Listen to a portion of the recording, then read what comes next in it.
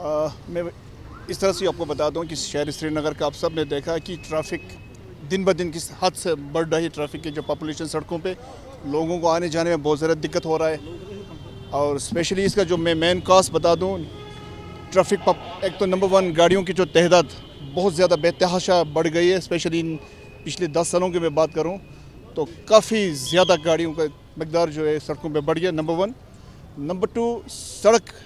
जो है पब्लिक जो सड़क है, उसका मिसयूज़ बहुत ज़्यादा तरीके से हुआ in the form of wrong parking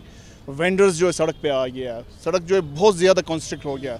तो इसको देखते हुए इसमें भी हाई कोर्ट ने भी इसमें बहुत इसमें सीरियस नोटिस लिया गया। तो एक डायरेक्शन हाई कोर्ट की ओर से आया है कि जितनी भी जो सड़क पर रॉन्ग पार्किंग होते हैं जो मेन जो हाईवे है, या स्टेट हाईवे है, या लेन बाय लेन जितनी भी श्रीनगर सिटी की जो सड़क है कोई जो पार्क, कोई भी टाइप की जो पार्किंग है, जो सड़क की इर्द गिर्द जो बनाया गया है, वो सारा जो है डी नोटिफाइड किया हुआ, किया है। इसमें मैं आपको इस तरह से बता दूँ, सड़क, बहुत सारे सड़क के ऐसे जगह है जहाँ पे सड़क जो बहुत चौड़ी हुआ करते थे, वहाँ पे बहुत सारे जगह पे नोटिफाइड पार्किंग भी बनाया गया था एस या म्यूनसिपल कॉरपोरेशन की ओर से,